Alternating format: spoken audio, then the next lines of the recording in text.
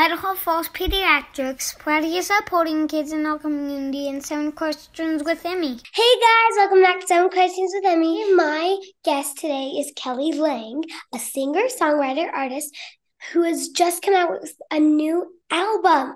Kelly, it's so great to see you again. Thank you, my dear. You look so adorable. I'm loving your braids. Thank you. okay, you ready for the questions? Let's go. Okay, can you tell me about your new album, I Think It's Jesus? Well, I Think It's Jesus is a single from the upcoming album, and the album's name is Dragonfly. And the reason I named my album Dragonfly is because when I'm in my pool, I can hold my fingers up. Every time I do that, a dragonfly comes and lands on my fingers. And it's really special. It's kind of fun. So I just think they bring special messages of comfort and joy, and they make me happy. And so I, have decided to name my album that. And I have a song that I've written called Dragonfly that's going to be coming out with that. I think it's Jesus, though, is a song that I wrote about all of these coincidental things, like when you get chills on your arms or a lump in your throat, or maybe you see a red bird when you're thinking about somebody that's passed, or maybe a feather that's out of nowhere all of these things seem to be connected in a way. And I wanted people to realize it wasn't just a coincidence. I think it's Jesus. So I think you'll enjoy the song. It's it's quite fun. Yeah, we will listen to it. How do you come up with ideas when you write songs? Well, that particular song came to me when I went to a Brooks and Dunn concert, and uh, I noticed that everybody was having the same lumps in their throat and chills on their arms, and they were crying when they heard him sing a certain song called "I Believe." And it just got me thinking you know what what is that human thing that everybody has? And uh, i just was in my pool one day and birds were flying around me and just beautiful things happening and i got really quiet. And i feel like god just gave me that song. Sometimes that's how i feel like songs are written. They just kind of are inspired. That's awesome. Okay this one's kind of a fun one, okay? okay? All of them are fun, but this one's kind of a little extra fun. I'm ready. Who is the most famous person in your cell phone, and when was the last time you talked to them? The most famous person in my cell phone is Barry Gibb of the Bee Gees or Marie Osmond.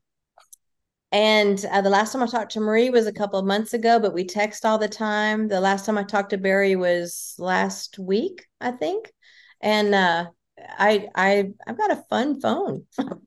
we should share contacts, Demi. this might be too much to ask, and you can say no.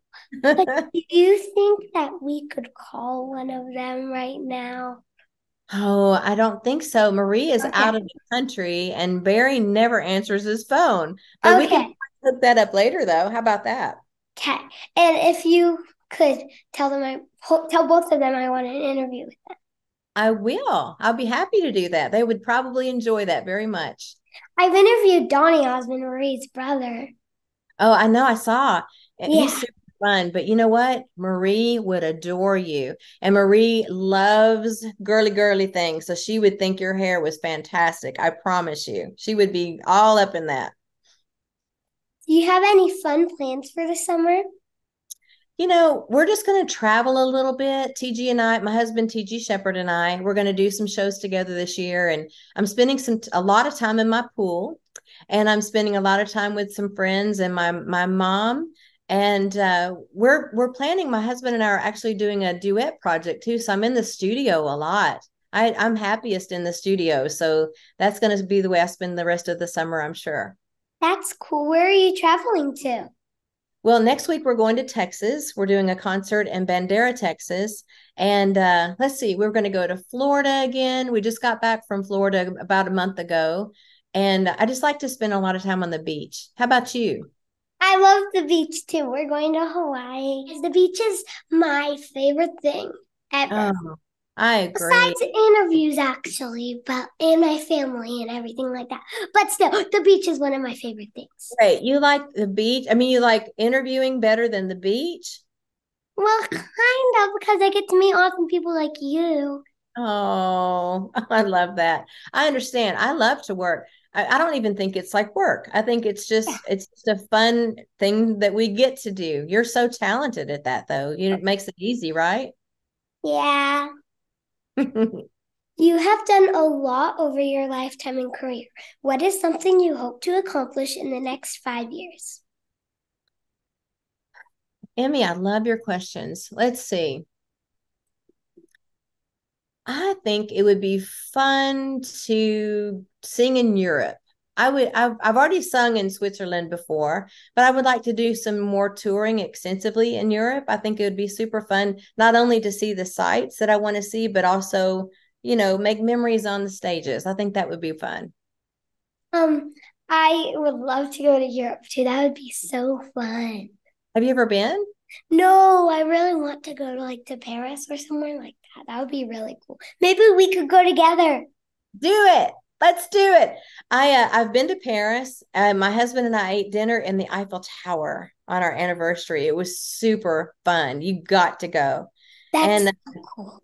You know what else we did? We went to London and uh, we got to go through Buckingham Palace. It was open, so we got to see where the Queen did all of her throne queenship stuff, and it was so cool. They don't open it up very often, but we we got the right time. It was wonderful. You need to go. Really cool. It was. It Can was. you share the most embarrassing moment you've had on stage? Well, other than I'm pretty clumsy and I fall a lot and I have broken so many heels that I've had to go to go on stage barefoot. Uh, but one time I was on TV. No, it wasn't TV. It was a was a, like a benefit concert thing I was doing, and my contact fell out because the lights dried them up. My contact fell out and it landed on the floor, and I couldn't see anything. So you know what I did? I what? picked it up, I put it in my mouth, and then I put it back in my eye right before I had to start singing again. So that was quite shocking. That's, that's not necessarily embarrassing because nobody really knew, but better than being blind. Were you just like, girl, I can do it really quickly. So yeah. Yeah, yeah that's good. Well, it's good that no one really noticed too. Yeah. Oh, one time on TV, I had a really bad cold. Okay. I was doing local TV here in Nashville and I had this microphone that had like see your black foam on top of your microphone. Yeah, right here. Yeah. I was singing and I noticed that they did a close up on me, but my nose started to run. So you know what I did? I just just wiped it with the mic and went on. I didn't have a choice. It was just dripping down my lip, and somebody was going to see that, right? You were just like, Yep, that's what I did. wow. Pre-COVID, of course. yeah. Did it, do you think anyone noticed? Or I like, hope not. Now I'm telling on myself. Now you're going to tell everybody, right? no, I won't do that. It's okay. It's in the past. It's all good. What's Next time you get a cold, you can wipe your nose on that. It works great. yeah.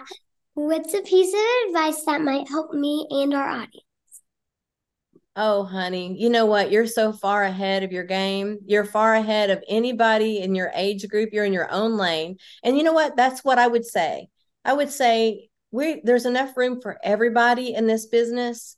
Just stay in your own lane, mind your own business, be kind to everybody, and you know what? You will succeed because you've not go, you have no competition you're amazing and you've got it going on. Don't feel like you have to compare yourself to anybody because you're a star in yourself. Okay.